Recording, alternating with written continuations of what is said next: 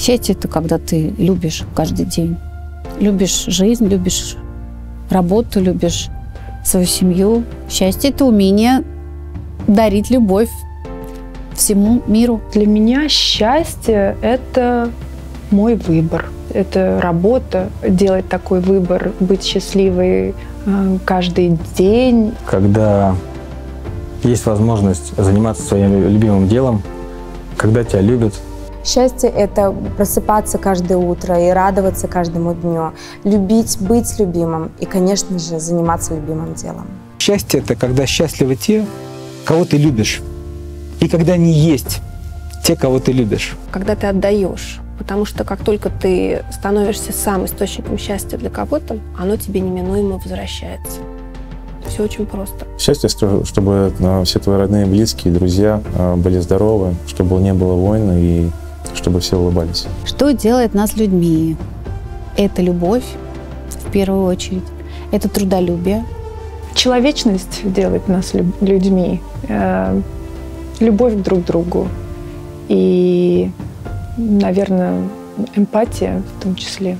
Желание развиваться и культура человеческая. Мы рождаемся людьми, но остаемся людьми благодаря нашим поступкам. Именно эта способность то, что называют словом эмпатия, способность понять другого человека и делает нас людьми. Есть такие события в жизни, которые нельзя пропускать. Нужно видеть честность в глазах атлетов. Нужно слышать, как бьются сердца атлетов. Нужно чувствовать страсти атлетов. Всемирные зимние игры специальной Олимпиады в 2022 году в Казани – больше, чем спорт. Это событие, которое лечит души. В отношениях между людьми должна быть искренность, доверие, уважение. Искренность в общении, в уважении и в чувствах. Не отчуждение, а наоборот эмпатия, приятие. Принятие того, что у другого человека есть такое же право на качели в парке и на весь этот мир, на всю эту жизнь, как и у вас это норма. Не понимаешь, уже любовь.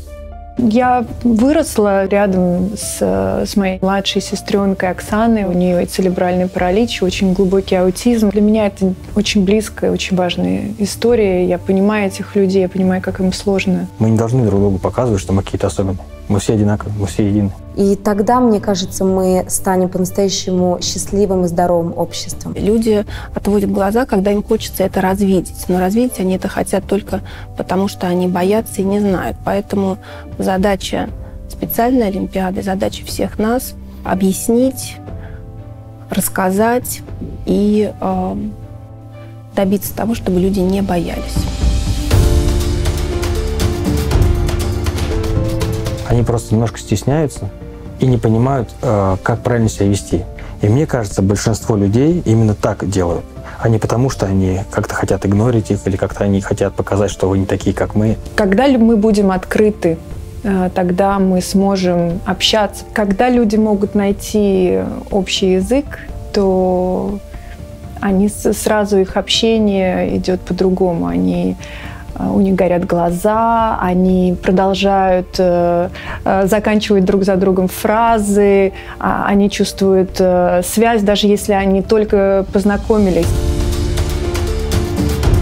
И это огромное счастье, что мы удостоились э, такой возможности проводить игры э, специальной Олимпиады в нашей стране. В моем родном городе, в Казани, который я очень люблю. Мы иногда ноем чего мы-то ноем, если люди могут столько добиваться? Специальная Олимпиада – это про победу всех нас.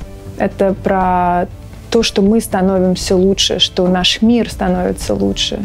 В ней нет тщеславия, амбиций, гордыни, чего-то, что людей разъединяет. Они, наоборот, все спортсмены друг друга поддерживают, все спортсмены друг друга, наоборот, подбадривают, и в этом и есть э, э, такое семейство спорта. В специальной Олимпиаде каждый участник, он уже победитель. Я обязательно приду на игры и буду поддерживать всех и каждого участника. Только через подобные состязания общество учатся сопереживать, учатся гуманизму и учатся не черстветь.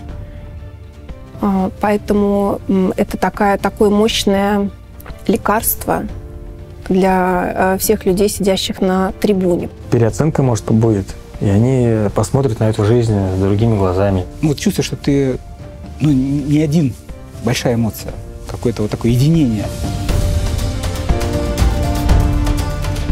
И очень многие рядом со мной плакали, и хотя у меня там не было моей сестры, моей семьи, я плакала вместе с этими людьми, потому что я понимала, я могла разделить с ними этот момент счастья, когда они видят, что их сын или их брат или сестра, что это их момент, их момент э, победы, их момент торжества.